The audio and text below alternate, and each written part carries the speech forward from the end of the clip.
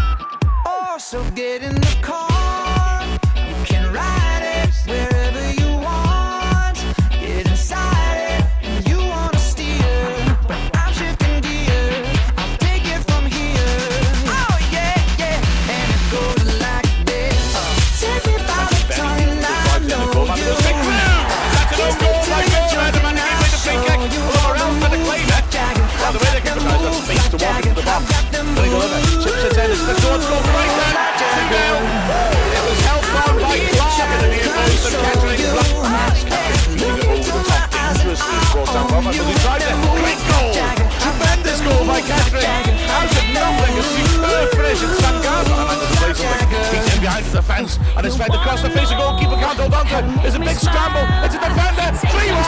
London calls. Straight into the bar.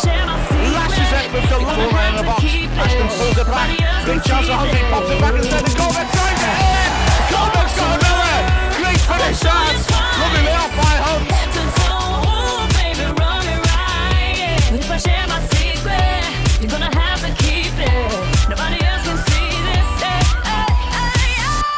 goes like this. Oh. Tippy by the tongue